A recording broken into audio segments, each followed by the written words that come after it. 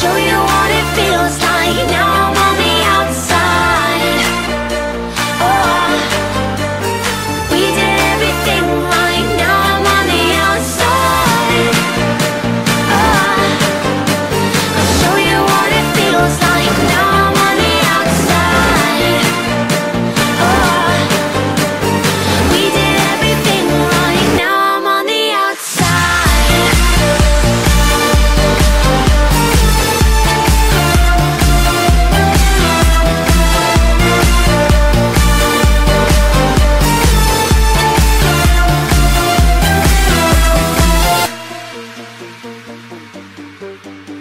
I'll show you what it feels like.